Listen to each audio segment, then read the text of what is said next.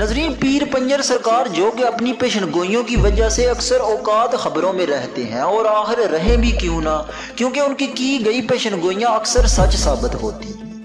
لیکن خالیہ دنوں میں انہوں نے کچھ اور تخلقہ خیز پیشن گوئیاں کر دی ہیں، جسے سن کر آپ لوگوں کو ضرور حیرانگی ہوگی۔ آج کے اس ویڈیو میں ہم انہی پیشن گوئیوں کے متعلق بتانے جا رہے ہیں۔ لیکن ویڈیو میں مزید آگے بڑھنے سے پہلے آپ لوگوں سے گزارش ہے کہ ہمارے چینل کو سبسکرائب کریں۔ اگر آپ کو ویڈیو پسند آئے تو لائک کریں اور کمنٹ سیکشن میں اپنے رائے کا ضرور اظہار کریں۔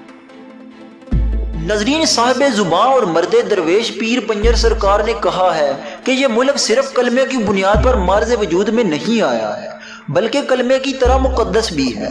لہٰذا اس پاک دردی کو مٹانے کا خواب دیکھنے والے خود مٹ جائیں۔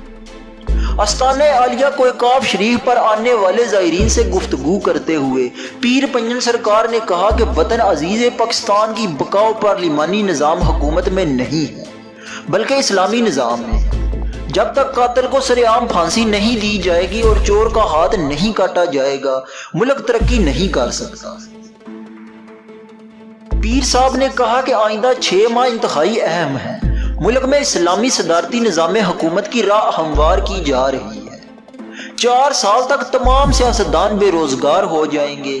جبکہ انہوں نے کہا کہ محسوس کچھ یوں ہو رہا ہے کہ اسلامی صدارتی نظام حکومت میں پاک فوج اور آرمی چیف کی اہمیت بڑھ جائے۔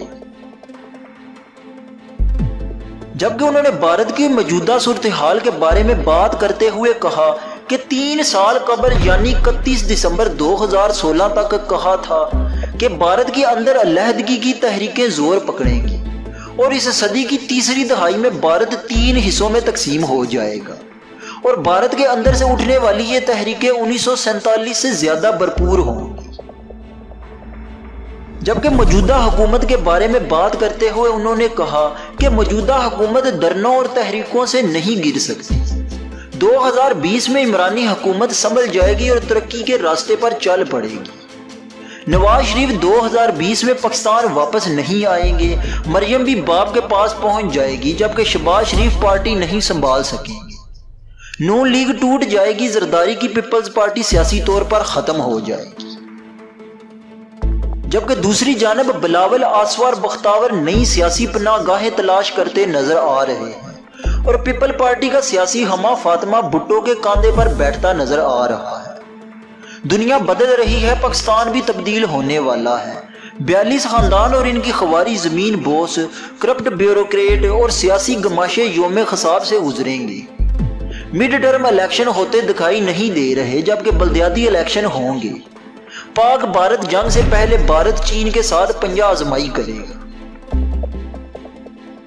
اور چین ایسی ضرب لگائے گا کہ اس کی ریڑھ کی ہڈی ٹوٹ جائے گی اور پھر بھارت پاکستان کے قبضے میں آ جائے گا۔ انیسویں صدی یورپ کی تھی، بیسویں صدی امریکہ کی تھی، اکیسویں صدی ایشیا کی ہے۔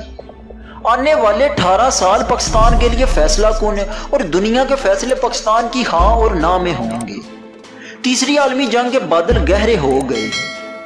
اس صدی کی تیسری دہائی میں کسی بھی وقت شروع ہو سکتی ہے، جبکہ دو ہزار بیس اور آئندہ آنے والے سالوں میں دنیا کیسی ہوگی؟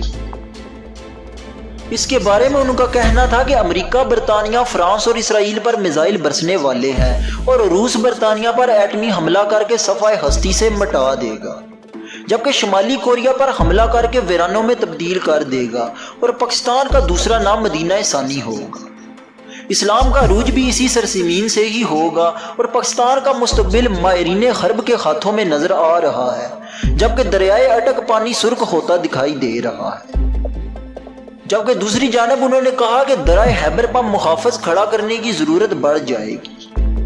پیر پنجن سرکار نے کہا کہ جولائی دو ہزار سترہ میں کہا تھا کہ نریندر مودی کو قتل کر دیا جائے گا۔